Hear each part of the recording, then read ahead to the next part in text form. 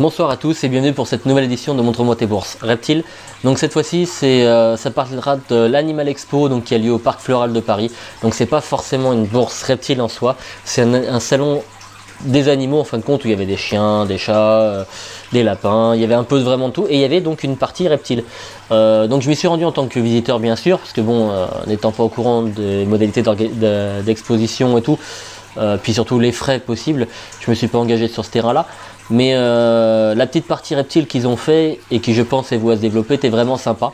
Euh, j'ai pu nouer quelques contacts sympas mais dans d'autres salles, euh, notamment vers les, chats où, j'ai pu rencontrer donc les, les, fondateurs de pabet.com, qui est un, site de garde d'animaux entre particuliers en fin de compte qui, rejoint un peu ce que je fais sur le groupe Léo Tortue Vente Échange Spécial Tortue.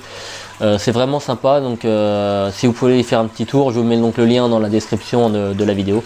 Donc euh, franchement sympa. donc là-bas sur place, au niveau reptile, on a retrouvé les habitués. Hein. donc il y avait Jurassic Knack, la ferme tropicale.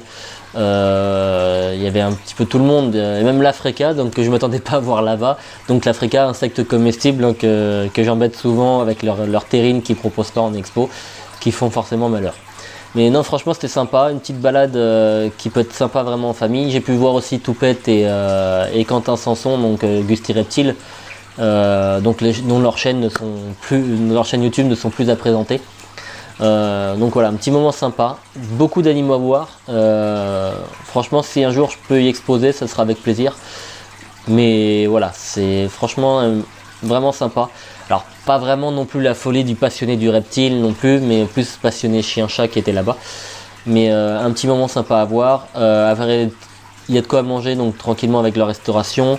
Euh, et en même temps au pire pique-niquer dans le parc floral de Paris est tout à fait possible au niveau de, Vincennes donc c'était vraiment sympa et c'est assez proche également du, parc zoologique de Vincennes donc ce qui fait que on peut faire la matinée là-bas et l'après-midi au parc zoologique. Vraiment, c'est un bon emplacement, très sympa et beaucoup de rencontres. Voilà. Donc on se retrouve pour un prochain numéro. Salut